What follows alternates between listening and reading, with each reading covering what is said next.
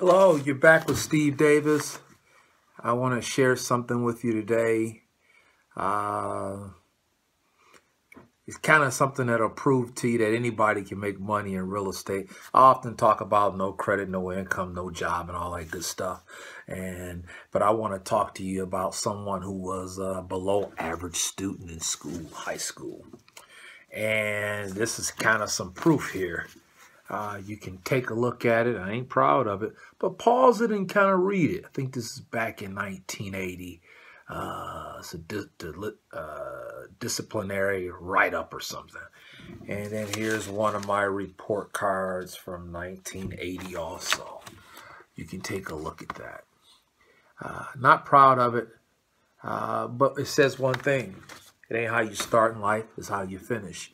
So to me, if you're uh, able to hit the ground running and, and you take whatever it is that you want to do in life serious and be disciplined, it'll work out for you. And you got to always keep in mind you need to have a coach. Uh, real estate has provided a quality, balanced life for me. It's allowed me to be at all my kids' events.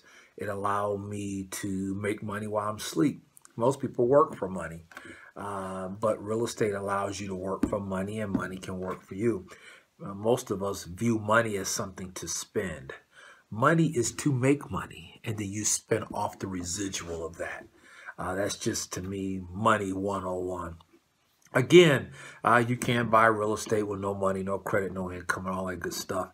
Uh, but you don't have to be the brightest person. I sure wasn't. But I was a, astute, uh, disciplined, and I had a coach. So again, it ain't how we start in life, it's how we finish.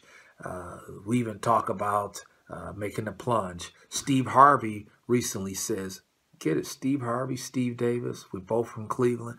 But he says you got to make that jump sometime in life. Uh, and sometimes you're going to land without that parachute the first time. Uh, my philosophy is uh, you can make the plunge.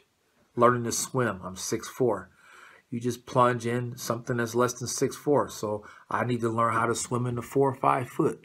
So this way I can save myself, but I can make the plunge and make that jump. Again, real estate don't require any money, no credit, no income, and all that good stuff. But you don't have to be the brightest person. Just be disciplined and get a coach. I shared some information with you today. Uh, I ain't proud of, but I gotta say that uh, it ain't how we start, it's how we finish. And try real estate. Look us up. Have a good day.